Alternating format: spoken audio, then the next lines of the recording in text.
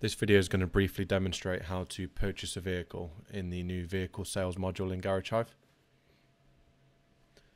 This must be set up um, and enabled by one of the support team.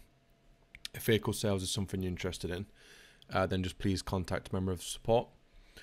Uh, so to start with, you need to be in the Vehicle Sales Administrator role center. So under My Settings, you'll see a new role center called Vehicle Sales Administrator and now we want to uh, purchase a vehicle so we need to start by raising a purchase invoice.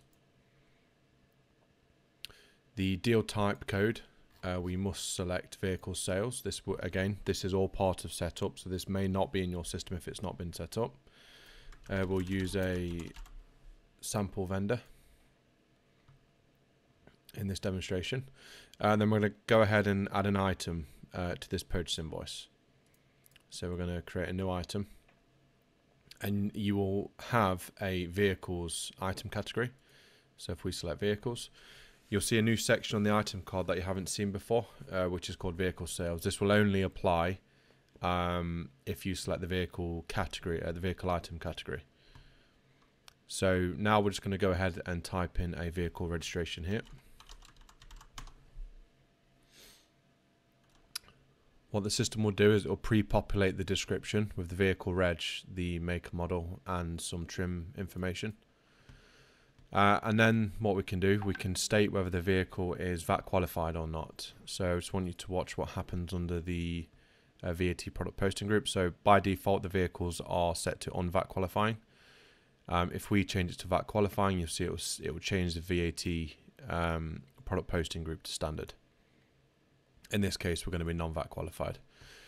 At this point, um, you can also state the source vendor of the vehicle and the funder vendor of the vehicle. This is all to do with if, if you um, have funders uh, for your vehicle stock. Um, this is used in Power BI um, and some reporting, basically. In this case, we're just going to leave these blank. Uh, so now we just press OK. Uh, it must be a quantity of one. And let's just put the purchase price of the vehicle in. So you'll see it's come through zero VAT because this vehicle is not VAT qualifying. Uh, at this point I just need to type in a vendor invoice number. Um, so this this will just be on the invoice that you receive from wherever you're buying the car from. And then it's just as simple as posting. So posting and post. Do you want to post the invoice? Yes we do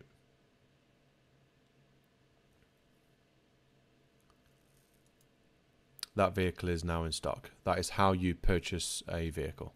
If you've got any questions, please let me know. Thank you.